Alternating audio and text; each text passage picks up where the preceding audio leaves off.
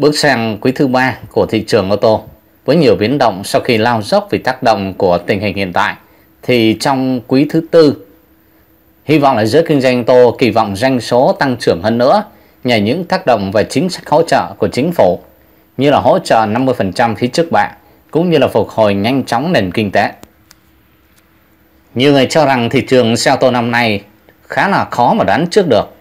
Tình hình hiện tại các hãng tưởng là thuận lợi nên đã tăng số lượng sản xuất cũng như là nhập sậu khẩu xe cho đợt chạy hàng vào thời điểm cao điểm cuối năm. Nhưng đến nay thì tình thế hiện tại vẫn chưa có gì là khởi sắc. Các hãng là phải tiếp tục tung ra những chính sách kích cầu, khuyến mại lớn để mà lấy lại thị phần trong những tháng còn lại của năm. Trên thực tế thì nhiều đại lý cũng đã tung ra những chương trình khuyến mãi lớn cho các dòng xe chủ lực của mình. Một số đại lý của Hyundai cũng đang tiến hành giảm giá bán cho nhiều mẫu xe từ 10 cho đến 30 triệu đồng. Hyundai Kona phiên bản tiêu chuẩn giảm 13 triệu đồng, Kona phiên bản đặc biệt giảm 15 triệu đồng và bản 1.6 Turbo giảm 20 triệu đồng. Cùng với đó thì khách còn được tặng kèm với gói phụ kiện chính hãng. Giá bán thực tế của các mẫu xe này sau khi giảm tại các đại lý cao nhất chỉ vào khoảng là từ 735 triệu. Các mẫu xe Hyundai Tucson và Santa Fe cũng sẽ được giảm giá từ 10 cho đến 30 triệu. Trong khi đó, đến từ thương hiệu của Mỹ Ford Everest, phiên bản Titanium 2.0 AT 4WD giảm tiền mặt 200 triệu đồng, kéo giá ra xuống còn là 1 tỷ 199 triệu, thấp chưa từng có so với dòng xe này trước đây. Các phiên bản Ambiente 2.0 MT 4x2, 2.0 AT 4x2, Trend 2.0 AT 4x2 và Titanium 2.0 AT 4x2 của Ford Everest cũng đang có mức giảm từ 70 triệu đồng đến 120 triệu đồng. Với Ford Everest, Ford Explorer cũng được giảm tới gần 100 triệu đồng. Cùng với những mẫu xe kể trên thì một số mẫu xe mới vừa ra mắt thị trường mở bán như là dòng xe Honda CRV 2020, MG SS và GS, Mazda 6 2020, Suzuki Ertiga Sport hiện cũng được các đại lý chào mời khuyến mãi. ưu đãi giảm giá từ 10 cho đến 50 triệu đồng để thu hút người mua. Một số mẫu xe hot khác thì hiện chưa công bố kế hoạch giảm giá trong dịp này. Nhìn lại trước đó nhờ thành công trong bước đầu, thị trường có vẻ hồi phục tưởng là nhanh chóng. Nhưng với thị, thị trường hiện tại thì một số xe mới có mặt ở thị trường trong nước như là tạo một luồng gió mới ở thị trường. Tưởng rằng có thể bán chạy nhưng khá là cạnh tranh với nhiều mặt hàng xe khác hiện là vẫn đang tồn kho và đời cũ 2019.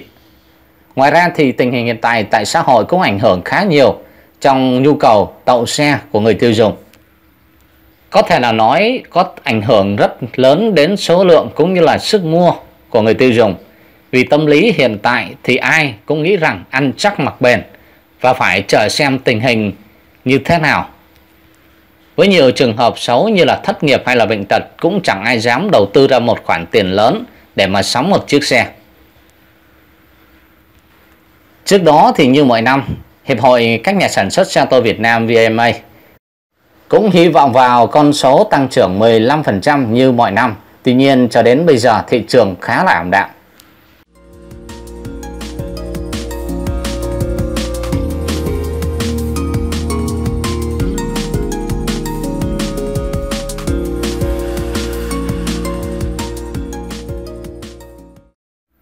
Thời gian gần đây nhu cầu mua xe ô tô gia tăng trở lại. Tuy nhiên để có thể sở hữu được những chiếc xe chất lượng và có một số lưu ý chúng ta không nên bỏ qua.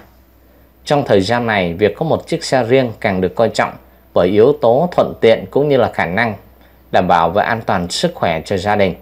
Tuy nhiên, việc di chuyển bằng ô tô cũng khá là căng thẳng bởi điều này đòi hỏi người lái các kỹ năng cao hơn cũng như là chiếc xe chỉ có thể giúp cho người sử dụng yên tâm tự tin khi xe trang bị đầy đủ các tính năng an toàn cần thiết.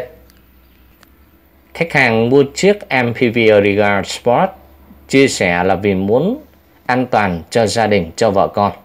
Khi trở thành cha, bản thân mình cũng cảm thấy có trách nhiệm hơn. Khách hàng chia sẻ như vậy. Không khác gì vị khách hàng này. Một anh tên Lập 37 tuổi quan niệm xe đó là thứ phải phục vụ mình. An toàn là ưu tiên số 1 anh mua chiếc xe Audiga Sport 7 chỗ nhập khẩu của Suzuki. để phục vụ công việc hàng ngày, cuối tuần về quê hoặc là đi du lịch cùng gia đình, bao gồm cha mẹ, vợ và hai con nhỏ.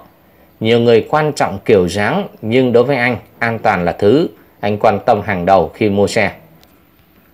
Thời gian sử dụng thì cho biết là hai khách hàng này cũng cảm thấy an toàn cũng như là hài lòng với mẫu xe Audiga Sport nhập khẩu với nhiều trang bị an toàn đã nhận chứng nhận 4 sao của tổ chức Asian NCAP công nghệ cân bằng điện tử ESP trên Ariga Sport giúp ổn định thân xe khi vào cua, duy trì lực bám đường trên mặt đường trơn ướt.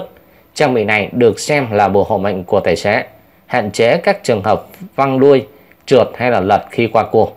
Với hệ thống khởi hành ngang dốc HAC, người lái có thể điều khiển xe một cách dễ dàng hơn ở những địa hình dốc hoặc là các hầm chung cư cao, có nhiều phương tiện lên xuống. Mẫu MPV 7 chỗ của Suzuki còn được nhiều người dùng đánh giá cao về thân xe cấu tạo, hấp thụ lực giúp giảm thiểu chấn thương cho người đi bộ. Một tiêu chuẩn an toàn rất nhân văn đã và đang được áp dụng tại các nước tiên tiến trên thế giới. Khung xe nhẹ và cứng chắc của Edgar Sport không những giúp nâng cao hiệu suất vận hành như là khả năng tăng tốc, khả năng tiết kiệm nhiên liệu mà còn giúp bảo đảm an toàn cho cả hành khách và người đi bộ. Trên Suzuki Ertiga Sport, khoang lái trang bị màn hình cảm ứng lớn 10 inch, tích hợp camera lùi, giúp dễ quan sát phía sau của xe khi lái, cùng cảm biến đỗ xe cảnh báo chướng ngại vật. Bên cạnh đó thì xe có điểm kết nối ISOF IX ở ghế sau, giúp lắp đặt ghế trẻ em dễ dàng và đảm bảo an toàn. Nhờ đó thì trẻ em được bảo vệ an toàn hơn trong trường hợp xảy ra va chạm. Hiện nay thì đa số người Việt không có thói quen sử dụng ghế an toàn cho trẻ. Nhưng điều này rất nguy hiểm vì ghế ô tô vốn chỉ là thiết kế phù hợp với cơ thể người lớn. Do vậy đây là ghế an toàn không có hiệu quả đối với các bé dưới 8 tuổi. Hiện nay thì xu hướng của người dùng hướng đến các mẫu MPV 7 chỗ như là Suzuki ariga vì khả năng đáp ứng đầy đủ các nhu cầu cần thiết như là rộng rãi, chở được nhiều người phù hợp di chuyển cả thành thị cũng như là chuyến đi xa. Nhìn chung thì điều kiện giao thông tại các thành phố ở trong nước khá là đông đúc và gây khó khăn cho người lái khi quay đầu và đỗ xe. Với bán kính vòng quay tối thiểu chỉ 5,2 m thì Ertiga Sport dễ dàng quay đầu trên những góc đường hẻm hẹp.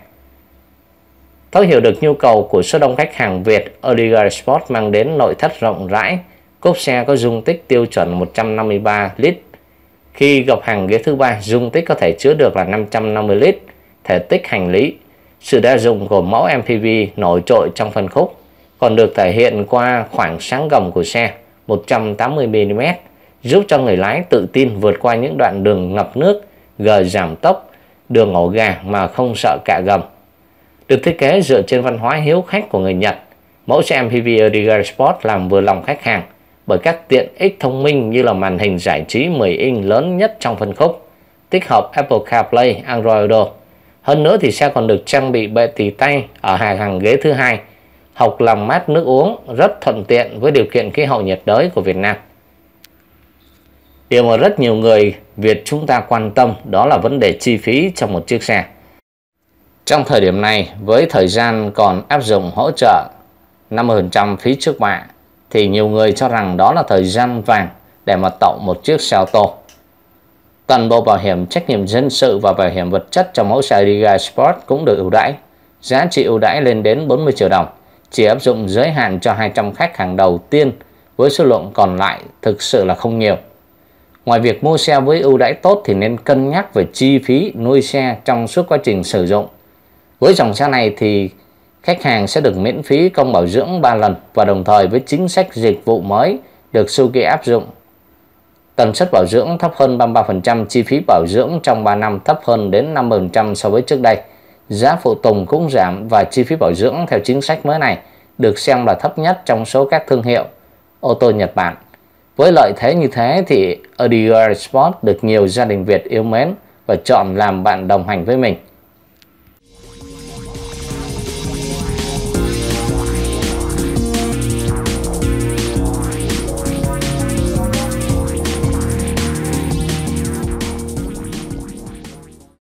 Giới thiệu dòng xe Kia Seltos hoàn toàn mới tại thị trường trong nước. Thaco phân phối tổng cộng 4 phiên bản và đi cùng giá bán từ 589 đến 719 triệu đồng Việt Nam. Mẫu CUV Kia Seltos rất là hấp dẫn nhiều khách hàng bởi thiết kế khá là bắt mắt, đầy hiện đại khi được lấy ý tưởng thiết kế từ mẫu concept Kia SP I và là dòng xe crossover 5 chỗ cỡ nhỏ hạng B. Xe có chiều dài, chiều rộng cao lần lượt là 4.315, 1.800, 1.645 và có chiều dài cơ sở là 2.610mm, khoảng sáng gầm là 190mm. Kích thước này giúp cho xe nhỉnh hơn so với các đối thủ cùng phân khúc như là dòng xe Kona, HRV và EcoSport, nhưng vẫn thua kích thước của chiếc Corolla Cross. Kia Seltos đó là CUV đô thị hạng B, cạnh tranh trực tiếp với Ford EcoSport, Hyundai Kona và Honda HR-V. Mặc dù là được định vị ở phân khúc crossover cỡ nhỏ hạng B, nhưng diện mạo của Kia Seltos khá là nam tính, thiết kế góc cạnh cứng cáp như là phong cách xe SUV. Phần đầu của Kia Seltos nổi bật với cụm lưới tản nhiệt, hình đặc trưng của thương hiệu Kia. Nối liền mạch với cụm đèn pha full LED 2 tầng, bên cạnh đó cụm đèn sương mù LED cũng được nối liền với nhau bằng một khe hút gió rộng ở bên dưới, trang bị tay nắm cửa và chi tiết trang trí cột xi mạ rôm sang trọng. Nhìn là từ phía sau thì cụm hậu đèn LED 3D được tạo hình cực kỳ là sắc sảo. Ốc cản sau với bộ khuếch tán khí động học đi cùng với miệng ống xả kế lớn. Tất cả phiên bản Saros trang bị bộ mâm hợp kim kích thước là 17 inch. Nội thất của Kia Seltos được thiết kế khá là hiện đại đi kèm với nhiều trang bị tiện nghi bao gồm các cụm đồng hồ hỗ trợ lái dạng analog kết hợp với màn hình 7 inch. Thiết kế nối liền với màn hình giải trí trung tâm kích thước lên đến là 10,25 inch, có hỗ trợ kết nối điện thoại thông minh CarPlay Android Auto. Bản thấp hơn thì dùng màn hình 8 inch. Bệ tì tay trung tâm có thể trượt trang bị cửa sổ điều hòa và cổng sạc USB cho hàng ghế phía sau. Có thể nói rằng Seltos được trang bị màn hình giải trí trung tâm kích thước lớn nhất trong phân khúc crossover hạng B. Ghế ngồi bọc da đen nổi bật với đường chỉ khâu màu đỏ, trang bị dàn âm thanh cao cấp, đèn trang trí với 6 chủ đề và màu khác nhau, gương chiếu hậu chống chói ECM bản cao nhất. Ngoài ra thì mẫu xe này còn đầy ắp những trang bị đủ sức hấp dẫn khách hàng trẻ, hàng ghế sau đủ thoải mái cho người có chiều cao khoảng 1m7. Với khoảng để chân sau là 973mm và khoảng để chân trước là 1031mm. Góc ngả ghế sau là từ 26 cho đến 32 độ. Mẫu xe Kia Seltos được trang bị khối động cơ 4 xi lanh thẳng hàng, dung tích là 1.4 tăng áp cho công suất tối đa là 138 mã lực tại 6.000 vòng trên 1 phút và mô men xoắn cực đại là 242 Newton đạt trong giải vòng tua từ 1.500 cho đến 3.200 vòng trên 1 phút. Kia Seltos còn có tùy chọn động cơ 1.6 hút khí tự nhiên.